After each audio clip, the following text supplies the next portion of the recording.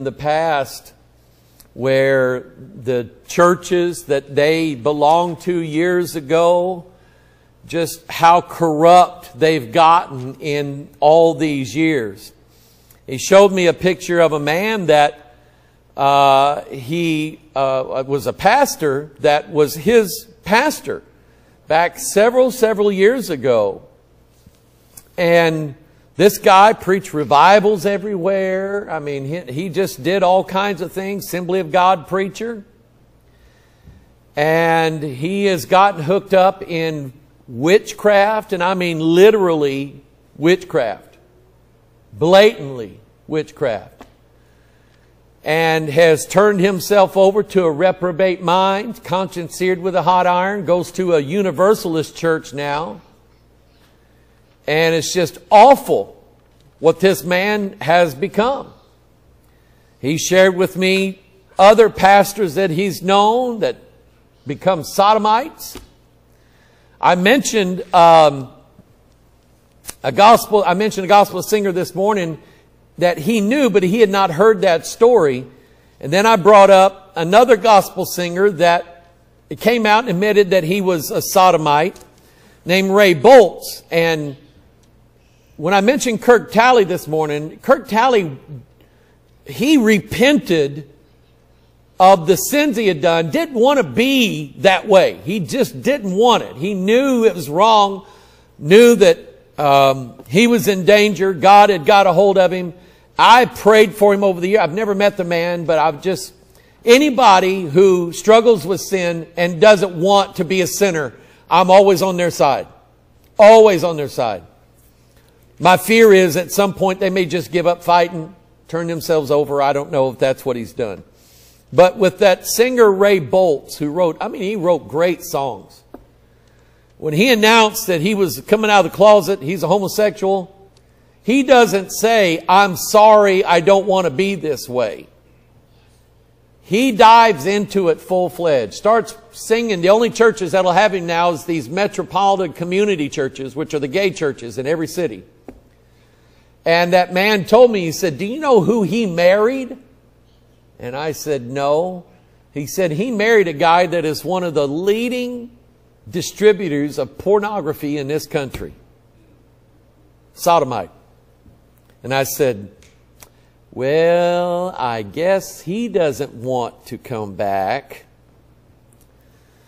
And that kind of stuff is going on everywhere churches becoming desensitized to it, desensitizing their members, members of the churches, because now they find out they've got sodomites in their family. They won't speak out against it. They don't want it spoken out against because they don't want their family members to be offended. They want everybody to go along with it. God made them that way. Who are we to judge? All that kind of nonsense. And that's what's happening right now. So you need that breastplate of righteousness to shield you, to guard your heart against being turned over. See, you don't have to be a sodomite to be pro-sodomite. You can be straight and be in favor of sodomites. You're still just as guilty in God's eyes as they are. Romans chapter 1 says that You are just as guilty as they are. So anyway, we, we had a good, uh, he took us out to eat for lunch, had a good time. Alicia, remind me, I, uh, they want to be on our watchers list, so I got their name and address. I wrote it down there in my office, all right? But uh, he wanted to convey to our church his thanks for uh, just how we've helped him and his wife and their walk with the Lord and things like that. So we had a good time. I, I look for him to come back sometime, don't know when. I can say they live up in the Peoria area, which is not all that far from here. So uh, it was just good to visit with them and had a good time, had good lunch with them. Genesis chapter 14. Did you do your homework? We're going to take a poll now on who Melchizedek is. Is he Jesus? Is he just an angel? Is he neither? Is he a guy on this earth? Originally, years ago, that's what I thought. I'd never really considered the idea that there could be an angelic priesthood but I can't remember what book it was. It was one of these old books that you find on Google Books. I like those, some of the theological ones, because they're interesting reading. A lot of them are just pretty dead on. That's because there wasn't the infiltration of false Bibles back then. But some of them you got to watch out for because they're wacky. But anyway, I was introduced to that idea. I never thought about that before, but I, I went, I, I think the guy's right. The more I studied the scripture, the more I was convinced that yes, there was an angelic order of priests and that Christ was the high priest of the order of Melchizedek. Yes. Uh, yeah, we're going to go there in a little bit. Okay. So you're on page, you're on page eight. I'm on page one. We'll get to page eight here in a little bit. All right. Genesis 14 verse 17. The king of Sodom went out to meet him after his return from the slaughter of Chedorlaomer and of the kings that were with him at the valley of Sheba, which is the king's dale. And Melchizedek, king of Salem, brought forth bread and wine, which is what we do at communion. And he was the priest of the most high God. And he blessed him and said, Blessed be Abram of the Most High God, possessor of heaven and earth, and blessed be the Most High God, which hath delivered thine enemies into thy hand. And he, Abraham, or Abram, gave him, Melchizedek, tithes of all. Again, this was before the law. So anybody who says, I don't believe I have to tithe because that was part of the law, we're not under the law, this wasn't under the law either, but he, he did it anyway. Did it out of a pure heart. Did it out of a willing heart.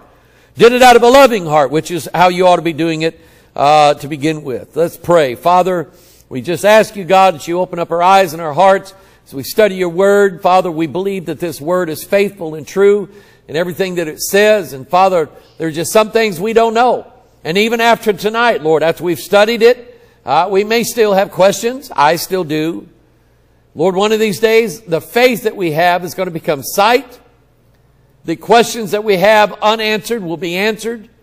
We will know, even as now we are known, because we will be like you. And Lord, you know me. I want to know every answer to every question. I don't like keeping riddles and secrets and mysteries from me. God, I want to find them all out. But Lord, it sure is fun to study them. It sure is fun to seek these things out. So Father, would you illuminate us and show us, Father, uh, a little bit about what heaven's like and about how you've done things. Just bless your word and honor it. We pray in Jesus' name and all of God's people said. Now turn to Psalm 110. We'll kind of do this in order. Um, I don't know who's trying to get my attention here.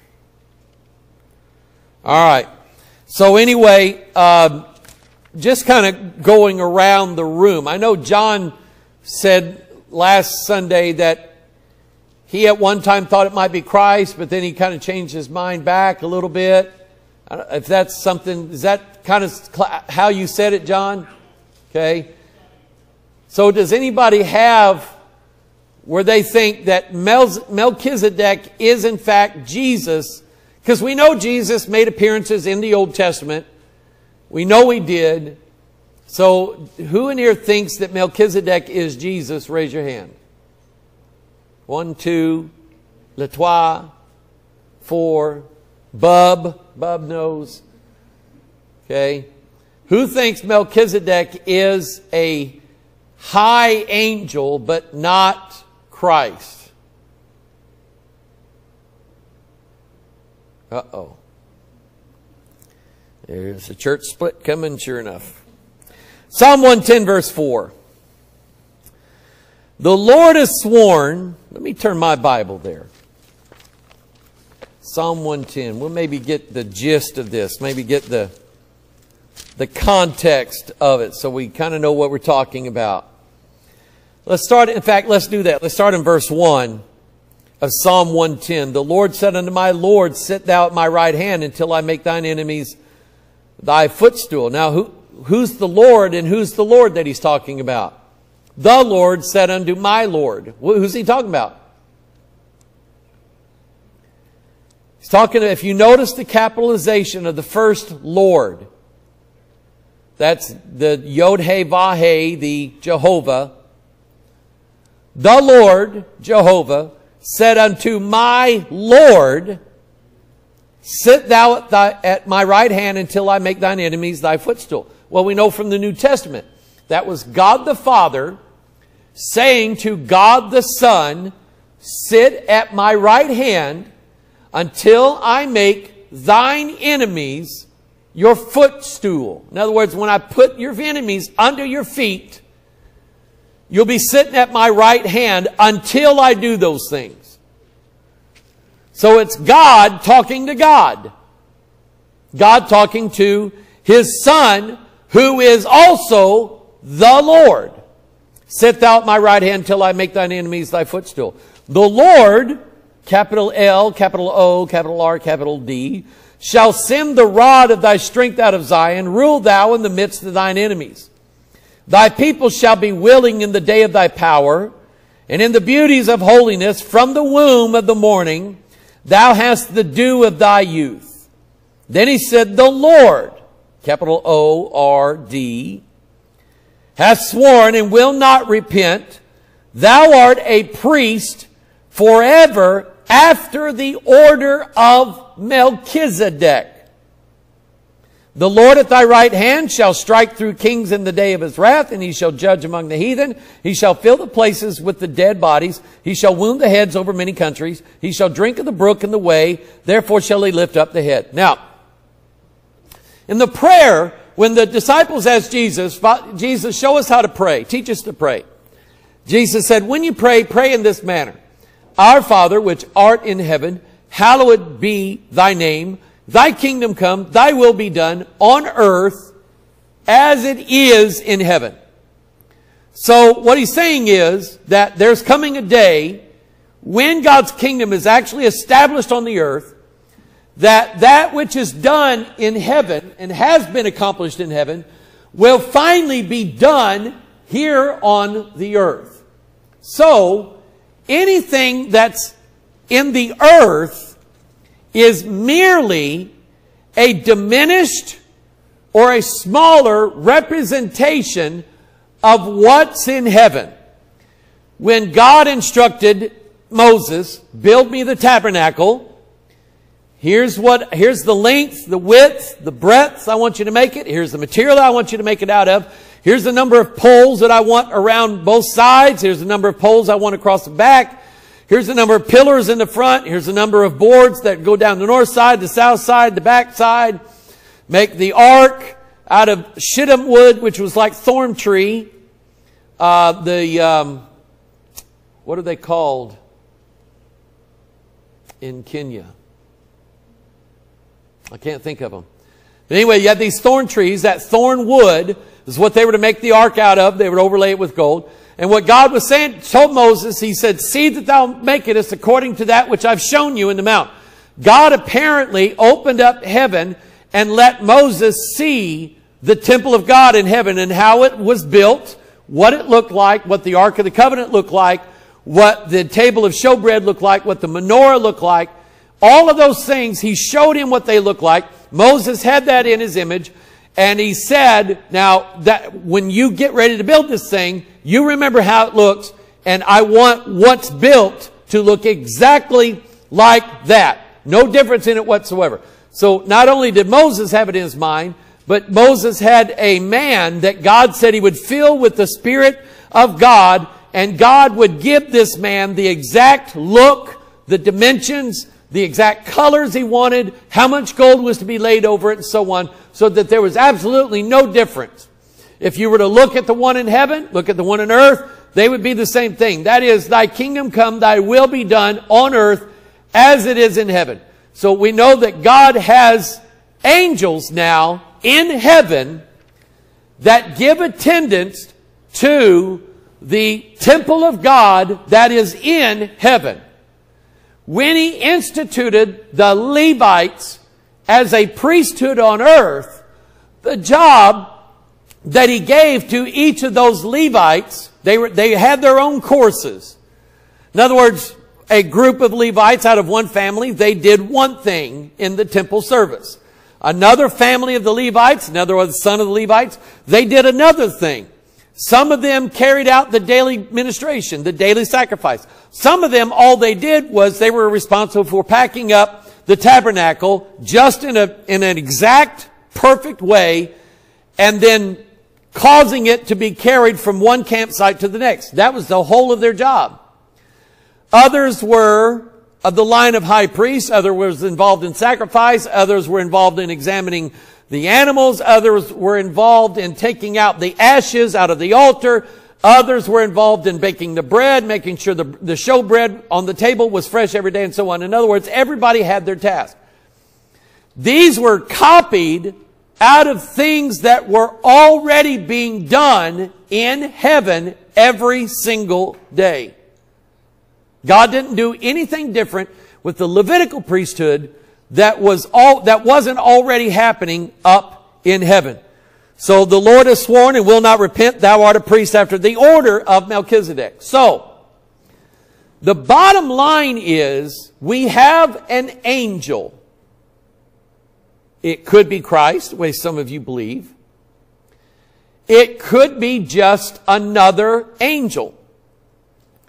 But we have an angel of the Lord who is sort of the, um, I guess, the boss, the master, the ruler over all of the other angels who act as ministers of the temple of God in heaven.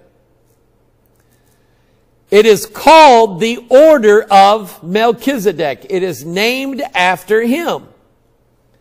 The earthly representation of that was the order of Aaron. You have the Aaronic priesthood. And after a while, every, you'd have a, a priest that would go bad, like with Eli. Eli was a high priest and he was a judge. And because of Eli's two sons, Hophni and Phinehas, God said, I'm going to end the order of Eli, and there will no more be any sons in Eli's family to be high priest in their father's stead. And sure enough, the day of the battle came between the Philistines and Israelites, Hophni and Phinehas were killed in that battle. So when Eli died, that was it his seed, his family, was no more to be part of the Aaronic priesthood. God had changed it over now to Samuel. Samuel was now the high priest. And so it was the order of Samuel after him. Okay? So, and that was the, I, like I said, I never thought about it before. I'm reading this book and I'm going, well, I'll be there is an angelic priesthood who is named after this particular angel by the name of Melchizedek. And it is this Melchizedek that is the king of Salem that Abram meets. This Melchizedek blesses Abram Abram gave him tithes of all. He gave him 10% of everything that he had. Now, Hebrews 5. What did you say, Hebrews 7, Chris? Well, in Hebrews 7, we talk about Abraham gave a tenth part of all, first uh, being by interpretation, king of righteousness. Right. And after that also came of Salem. king of peace. Right. Right. So, Hebrews 5. Let's, uh, we're going to pick it up in verse 6, but let's read down to get the context. And Hebrews really is that, uh, and Matthew does this too. Matthew being the first book of the New Testament is a transitional book that transitions us from thinking that our religion is all based upon what's on the outside and what can be seen to what's on the inside that cannot be seen by men, but God sees it. And if you study Matthew, you'll see Jesus does that. He said, you know, you've heard it shall be, you, know, an eye for an eye. But I tell you, and then he goes on to tell him something different. You've heard, you've heard it said that, you know, if anybody swear by the temple, it's okay. But if they swear by the gold of the temple, that's not right. But I tell you this. So Matthew is one of those books where you can see a clear changeover from the way the Jews thought before that, which was the religion was all on the outside and it was based on how you look on the outside, to Jesus pointing out, uh, I'm sorry, the outside can look really nice, but the inside can be full of disgusting maggots. Okay? So in Hebrews chapter 5, Verse 1, For every high priest taken from among men is ordained for men in things pertaining to God, that he may offer both gifts and sacrifices for sins, who can have compassion on the ignorant and on them that are out of the way, for that he himself also is compassed with infirmity. He's talking about the earthly priesthood. And by reason hereof he ought, as for the people, so also for himself to offer for sins. And that, what that means is, whenever, let's say John and his family, they go to the tabernacle and they bring their, their lamb, their spotless lamb. It's going to be a sacrifice. They bring it to a priest. Before the priest can offer their lamb for their sacrifice for his family's sins, the priest have to offer a portion of that for his own sins. And I like that. I like that because it never elevates nor allows to be elevated the priesthood.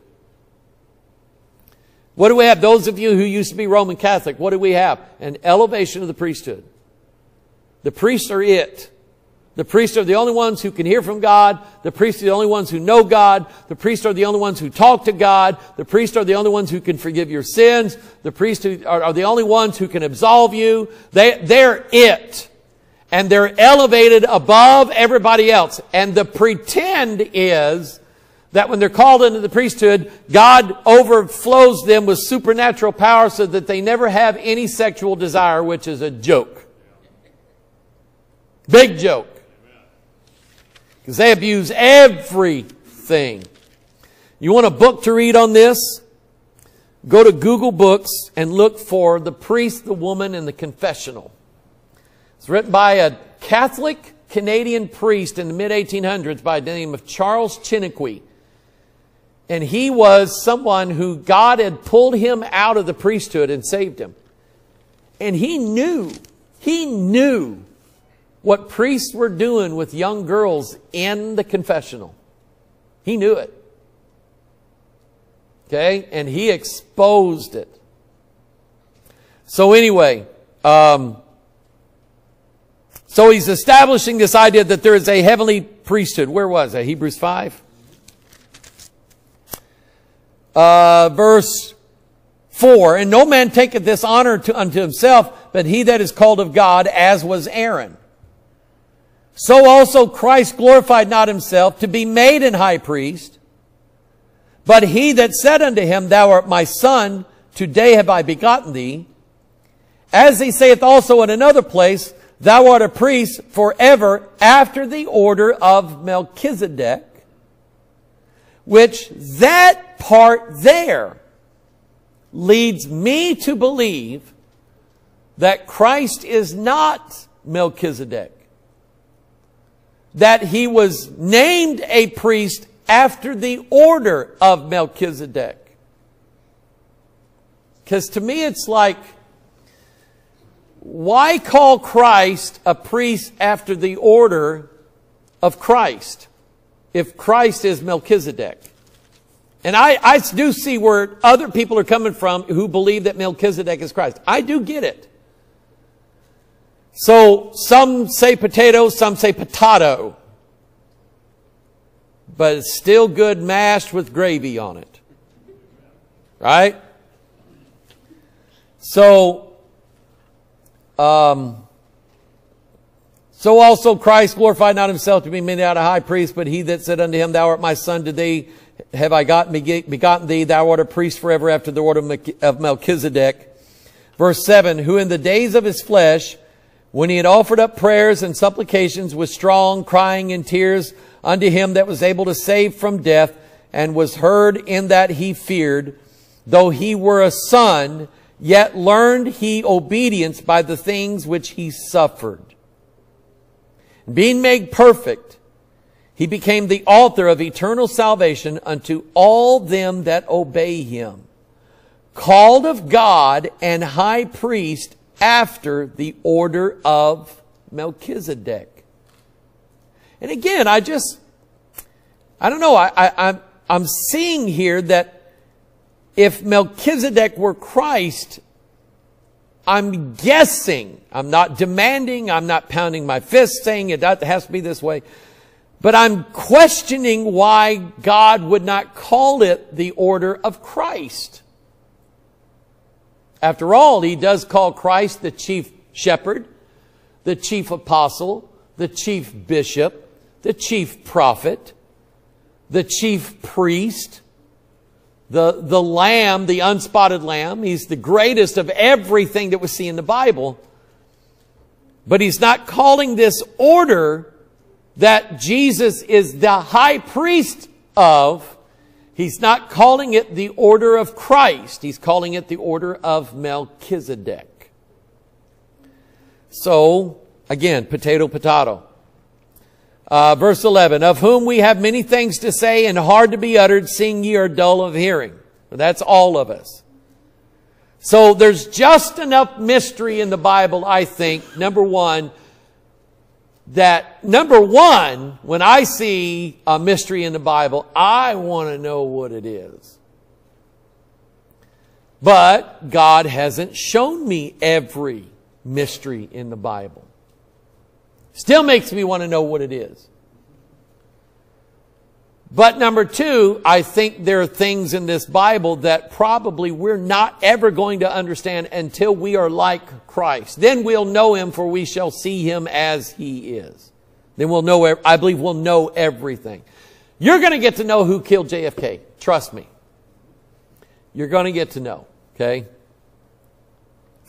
And so he said, um, verse 7, who in the days of his flesh, when he had offered up prayers and supplications with strong crying and tears unto them, unto him that was able to save him from death, and, and was heard in that he feared, though he were a son, yet learned he obedience by the things which he suffered, being made perfect until he became the author of eternal salvation unto all them that obey him, called of God and high priest after the order of Melchizedek of whom we have many things to say and hard to be uttered, seeing you're dull of hearing. For when the time, for when for the time ye ought to be teachers, ye have need that one teach you again, which be the first principles of the oracles of God, and it becomes such as have need of milk and not of strong meat. There are times that I feel like I'm not qualified to teach certain things because I don't know them. For everyone that useth milk is unskillful in the word of righteousness, for he is a babe. But strong meat belongeth to them that are full age, even those who by reason of use have their senses exercised to discern both good and evil. Now, Hebrews 6. We're getting there to Hebrews 7. Hebrews 6 I have verse 19, but let's back up a little bit and get the context. Um, verse 16, for men verily swear by the greater, and an oath for confirmation is to them an end of all strife. Wherein God, willing more abundantly to show unto the heirs of promise the immutability of his counsel. Immutability means what? What does it mean to be immutable? Unalterable. He does not change. And you ought to be glad that the God that promised you eternal life and salvation is not going to wake up and, and say, you know, I really don't like Gary. I don't like him. I just don't I don't want him around. Don't worry, Gary. He is immutable, meaning he does not alter the thing that goes forth out of his lips. He doesn't change his mind. He doesn't change his thoughts. He doesn't change his doctrine. He doesn't change the way he does things. He's the same God yesterday, today, forever. That by two immutable things in which it was impossible for God to lie, Verse 18. We might have a strong consolation who have fled for refuge to lay hold upon the hope set before us, which hope we have as an anchor of the soul, both sure and steadfast, and which entereth into that within the veil, whither the forerunner is for us entered, even Jesus, made an high priest forever after the order of Melchizedek. That's like three times now that he said Jesus is of the order of Melchizedek. To me, that means that the originator of the order was God going through Melchizedek, but that Jesus became the high priest of that order of Melchizedek. To me, Melchizedek and Jesus are two different characters. That's just kind of how I see it. Now in chapter 7,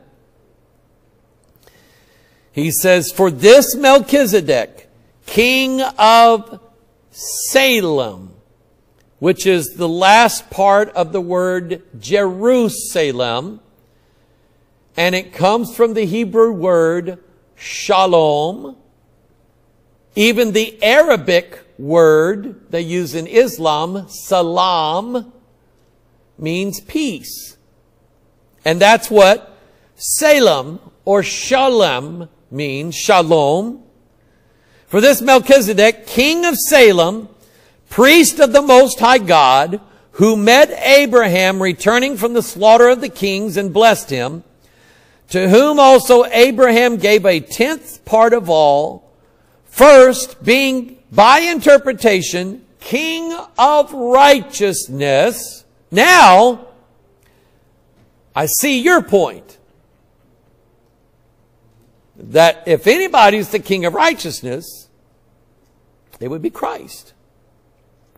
And after that also, King of Salem, which is King of peace. That matches Isaiah 9, where it says, For unto us a child is born, and unto us a son is given, and the government shall be upon his shoulders, and his name shall be called Wonderful, Counselor, the Mighty God, the Everlasting Father, the Prince of Shalom, Prince of Peace. So King of Peace, Prince of Peace, same thing, same title. So I do get that. Then notice what he says. Now, I think it's also possible that Melchizedek, not being Jesus, can be a type of Jesus. Was not David king of the Jews?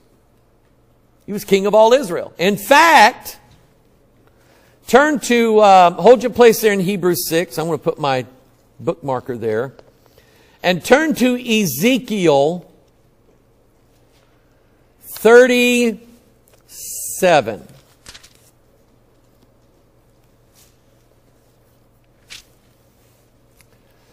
Ezekiel 37. We have the prophecy of the dry bones. We have God telling Ezekiel, now take the two sticks one of them represents the ten tribes of Israel. One of them represents the two tribes of Judah and Benjamin. And you're going to bind them together and they're going to be one stick because I'm going to bring the nation of Israel back together again. I'm going to put them together again and they'll be one nation again. And so he said, um, if you look in verse 22, of Ezekiel 37, and I will make them one nation in the land upon the mountains of Israel, and one king shall be king to them all, and they shall be no more two nations, neither shall they be divided into two kingdoms any more at all. Neither shall they defile themselves any more with their idols, nor with their detestable things, nor with their transgressions. But I will save them out of all their dwelling places wherein they have sinned, and will cleanse them. So shall they be my people, and I will be their God. In verse 24, and David my servant shall be king over them. Now, who is David? Huh? It's Jesus. But he calls him David. He is son of David. Here it doesn't say son of David, it says David. David, my servant, shall be king. Now, God's not going to bring David back from the dead out of the crypt of his fathers and set him up as king. God's not going to do that. God's got a better king than David. David sinned. Jesus didn't. So in that, David played a part, a type, a characterization of Jesus. He was a man after God's own heart. That's Jesus. He's the one that put down all of the enemies. That's Jesus. So when he says David here, he is definitely referring to Jesus. But there was a real David who was not Jesus, but we can see in the life of David how he fits the character of Jesus. Does that make sense to everybody? So that's kind of how I see the Melchizedek issue. I believe Melchizedek was a uniquely separate angel, but that he acted the typology, the part of Jesus Christ and the things of his character, the things of his nature and what he did he is a forerunner of Jesus Christ, a living prophecy of Jesus Christ, but not Jesus himself. Again, but that's my opinion. I don't know, Megan. Should I let him? Yeah, go ahead.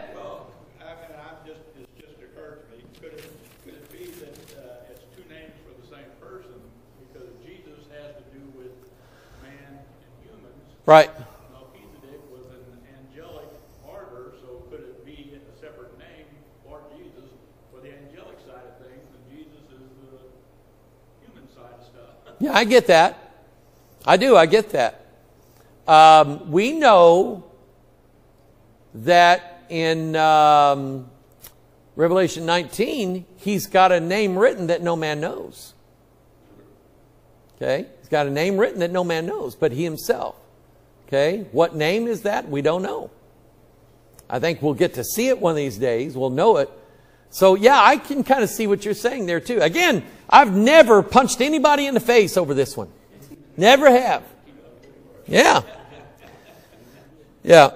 So for this Melchizedek, king of Salem, priest of the Most High God, who met Abraham returning from the slaughter of the kings and blessed him, to whom also Abraham gave a tenth part of all, first being by interpretation king of righteousness, and after, and after that also king of Shalom, king of Salem, which is king of peace.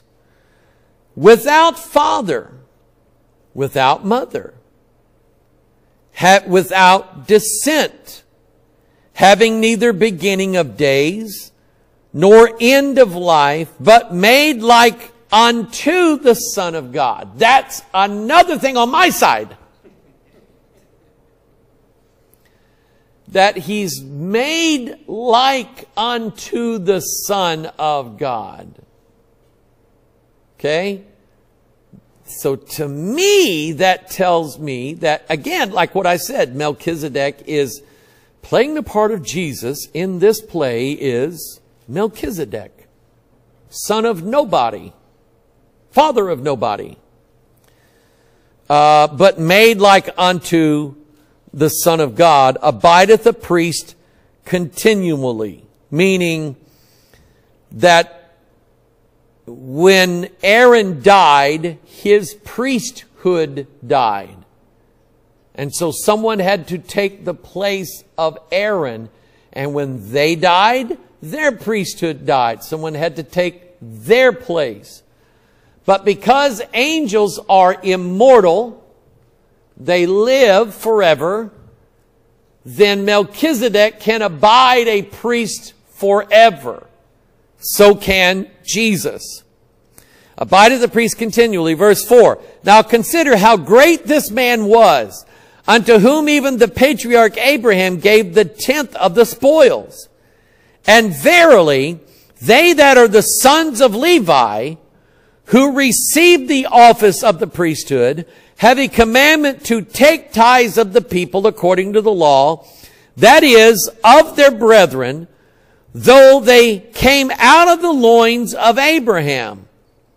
But he whose descent is not counted from them received tithes of Abraham. In other words, Melchizedek could not have been of the tribe of Levi. The tribe of Levi wasn't born yet. But we know the tribe of Levi was in the loins of Abraham at that time, waiting to make their appearance. Um, have a commandment to take tithes of the people according to the law, that is their brethren, though they come out of the loins of Abraham. But he whose descent is not counted from them received tithes of Abraham and blessed him that had the promises. And without all contradiction, the less is blessed of the better. In other words, Melchizedek was of a higher form than Abraham was. And Abraham gave life to the Levitical priesthood. So, and the Bible's going to tell you here that when Abraham paid tithes, so did Levi through their father Abraham. Okay? Because whatever Abraham gave them, he, he deducted it off the inheritance to his children. Okay? So, verse 8, and here men that die receive tithes. But there he receiveth them of whom it is witnessed that he liveth. And as I may say so, Levi also, who receiveth tithes, paid tithes in Abraham. For he was yet in the loins of his father when Melchizedek met him. If therefore perfection, and here's the whole point Paul's making here. Whether it's Jesus or whether it's not, here's the main emphasis of this. This is not what's to be fought about. If therefore perfection were by the Levitical priesthood, which the Jews believed, for under it the people received the law. What further need was there that another priest should rise after the order of Melchizedek and not be called after the order of Aaron? Now you remember. Levi was, you had Reuben, Simeon, and Levi in that order. Levi was the third son of Jacob. Judah was the fourth son. Moses and Aaron were from Levi. So the Aaronic priesthood was from the third born son, Levi. And that tells me that it was always intended to be a priesthood of this world only. But Christ didn't come from Levi. He came from Judah, the fourth son. Now I remember seeing this for the first time and I'm going, oh, that's it. Because if Christ then is of an angelic order of priesthood, that's why he's born of Judah, number four, not of Levi, number three. Because he's born of that spiritual realm, which is what that number four represents. If he would have been born of Levi, he would have been a priest like all the other Levites, offering temporary sacrifices to give salvation only on a temporary basis. And at the end of the year, they were all guilty again of their sins and they had to have the day of atonement and had their sins forgiven again for a year. Then it had to be done again next year and next year and next year. But now that Jesus comes from an everlasting priesthood, all he has to do is die once. And his sacrifice covers the sins of mankind forever. Amen. Now, that part we ain't gonna fight about. Amen. Amen. That's the good part right there. Um, let's see here. After the order of Aaron, what, what verse was that? Verse 11 of chapter 7. Yeah, verse 10, for yet he was in the loins of father when Melchizedek met him. therefore perfection were by the Levitical priesthood, for under it the people received the law, what further need was there that another priest should, uh, rise after the order of Melchizedek and not be called after the order of Aaron? Now verse 12, for the priesthood being changed. See, the law, the law that God gave Moses only made an allowance for a Levitical priesthood. There was nothing, not one word in the law that God gave Moses about a priesthood from Judah. Not once. So he said, for the priesthood being changed, there is made of necessity a change also of the law. And there was. Instead of do and live, it is believe and live. For he of whom these things are spoken pertaineth to another tribe, Judah, of which no man gave attendance at the altar. For it is evident that our Lord sprang out of Judah, not Levi, of which tribe Moses spake nothing concerning priesthood. So we're operating from a different law. Not a law sent down by an earthly mediator to an earthly people on the earth. A law from heavenly places sent by a heavenly mediator to those who would believe it. Amen to that. So, uh, verse 15, and yet is yet far more evident for that after the similitude of Melchizedek, there arises another priest Chalk one up for my side. Read that again. It is yet far more evident, for after the ortitude, after the similitude of Melchizedek, there ariseth another priest. Melchizedek was the similitude. Christ was the priest of the order of Melchizedek, but not Melchizedek, who was made not after the law of a carnal commandment, but after the power of an endless life. For he testifieth, thou art a priest forever after the order of Melchizedek. For there is verily a disannulling of the commandment going before for the weakness and unprofitableness thereof. He's talking about the law of Moses. For the law made nothing perfect, but the bringing in of a better hope did, by the which we draw nigh unto God. So, whether you believe that Melchizedek was Jesus or you believe that Jesus was not Melchizedek, you still have the same doctrine that because Jesus did not come from Levi, he came from Judah. Number four, that means he is from a heavenly realm of priests that came down here to offer not physical sacrifices, spiritual ones and that it wasn't the blood of the lamb or the goats or the calves or the turtle doves or anything like that that temporarily atones for the sins of mankind. It is the one time offering of Jesus' blood for all mankind forever that atones for all of our sins, past, present, future. One sacrifice only is necessary. Somebody say amen. So what is the Catholic priest doing? He's doing, he's violating the very nature of this law. He's turning what he believes, the host and the wine, back into the physical body and blood of Jesus, crucifying the Son of God afresh and making him an open shame. That's what every Catholic priest does every Mass is that they're putting Christ to an open shame all over again. They say we have to re crucify him every time you sin. That's a joke. I will fight over that one. Amen.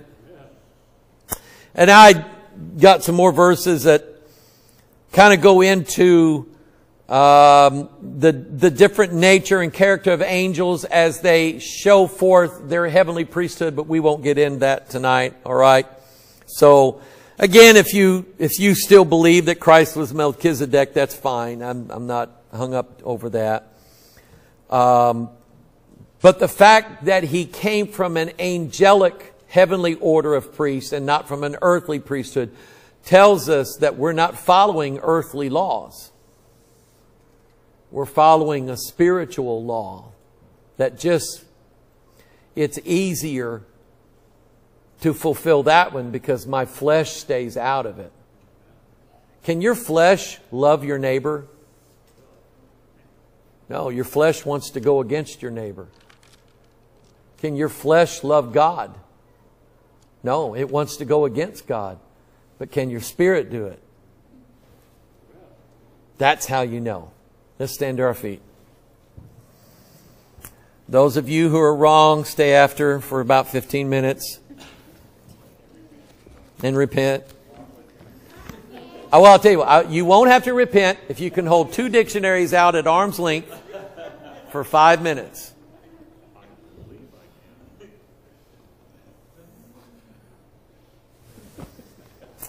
I had a teacher, Mr. Bradley, that uh, I liked him. If you got detention, that was the deal. You could get 30 minutes detention or five minutes holding two dictionaries out at arm's length like this. No one. No one made it. You can't even hold your arms out that long for five minutes. Father, thank you for a new law, a new priesthood. A priesthood, Lord, not of men who might turn us away if they don't like us. A priesthood of men who obviously corrupted the law of God, changed the law of God, made the law of God of no effect. And God, we would be lost, lost, lost if it weren't for you coming down from heaven from a better priesthood, offering a better sacrifice with a better covenant and a better intercessor, a better mediator, better promises, a better hope. Thank you, God, for doing that. That makes salvation easy. And we thank you for that.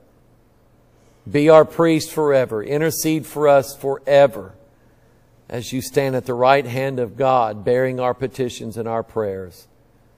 Teach us then, Father, that we ought to pray often because you never leave the right hand of your Father bearing our prayers to Him. You never left and you never will.